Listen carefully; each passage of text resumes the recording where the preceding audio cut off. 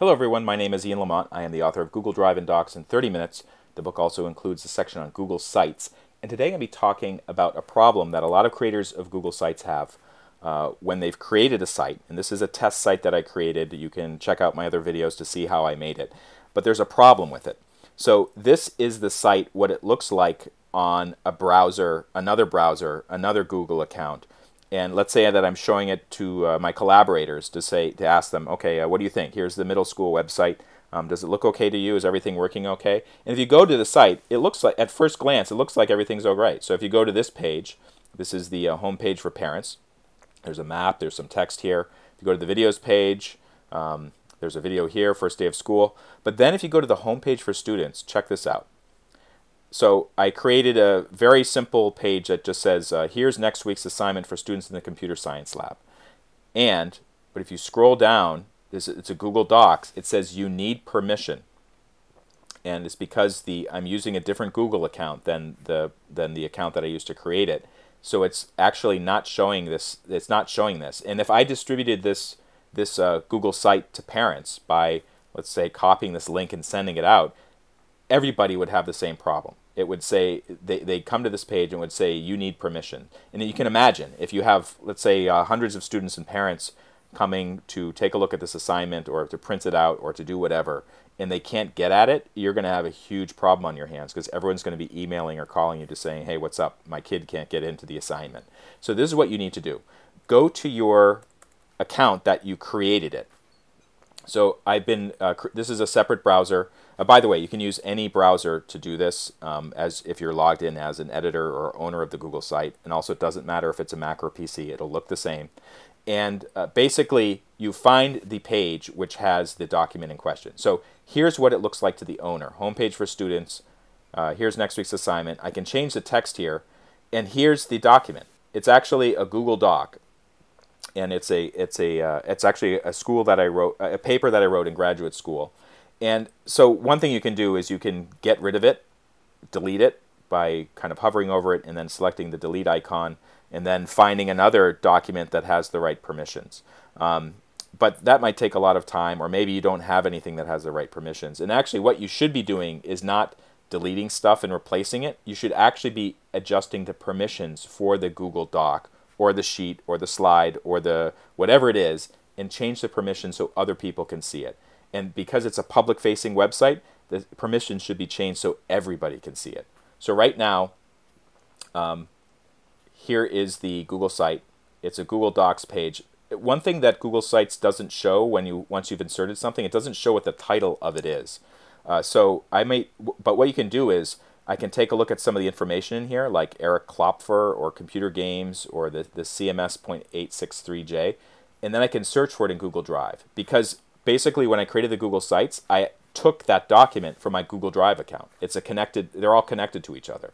So when you're creating Google Sites, you can actually insert stuff from your uh, Docs, Slides, Sheets, or Google Drive. So basically, you have to find that document. The problem with my Google Drive account, as you might be able to guess, I have thousands of files and folders in here, so I need to use the search function. So remember that that particular file, that doc, was about computer games. Let's see what happens when I search for computer games. Here it is, CMS WOW curriculum reaction.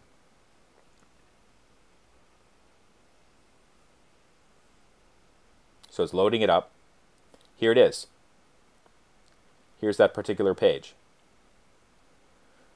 It's the same one, but this is viewing it in Google Docs.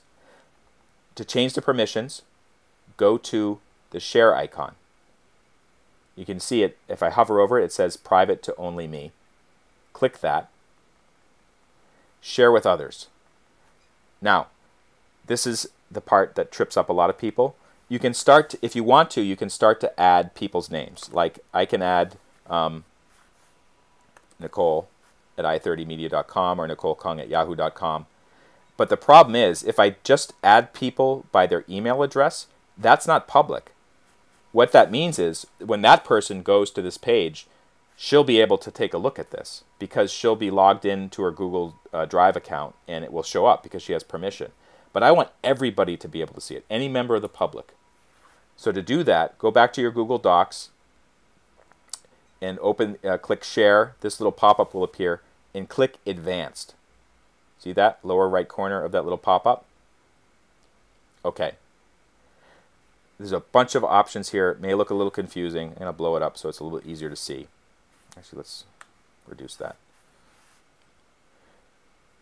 Look under where it says who has access. It says private, only you can access. Click the change link next to it. So now it's off specific people. That is, I can invite specific people by email. There's two other options here too. Sometimes actually you'll see more options uh, depending on how your Google account is set up. But the ones that we're interested are on public on the web. Anyone on the internet can find and access, no sign in required. On anyone with the link. Anyone who has the link can access, no sign in required if you select the top one, that means anyone who searches for computer games might be able to find that page. And actually, for a website that's really aimed at a specific population, I don't think you want to make it so easily findable, the, the document easily findable by anybody using Google search. Um, because you might get people that are maybe at another another uh, school or another community or people trying to cause trouble or whatever, and you just don't want to give them free access. You don't want to make it easy for people to find it if they're not connected with the school. Instead, select on anyone with a link. Anyone who has a link can access, and then hit save. So anyone, now it says anyone who has the link can view. So people, members of the public will be able to view it if they come to the Google, uh, to the, uh, to the Johnson Middle School website they won't be able to edit it. All they can do is view it. Okay. Um, you don't have to send it to anybody. Just click Done, the Done button. All right. Now, let's go back to our test site. So let's just hit Publish just to make sure everything is changed. And now let's take a look and see what it looks like on this particular on this in another browser. So I'm going to copy the link here. This is from the uh, Google Sites owner view. Copy the link. Switch to another browser. I'm switching to Safari. Paste that link in. Okay. So here's the same page, homepage for students. Let's scroll down. Before it says you don't have permission, but check it out now. Here it is that document is now embedded on the page and anyone can see it because this is a different this is a different browser, different account. I'm logged into somebody else, but I can still see it. And actually any member of the public who has this link will be able to see it. So, um, you know, your parents or your students, when they come here, they'll be able to see it. And uh, it basically makes it visible. So for more information on how to get the most out of Google Sites, you can check out the many videos I've created about Google Sites on my channel, or you can go to in30minutes.com. You can check out the book that I've written, which contains an introduction to Google Sites, but you can also, uh, if you scroll to the bottom of the page, there's a YouTube link, and you can check out the many videos that I've created about Google Sites. Thank you so much for watching.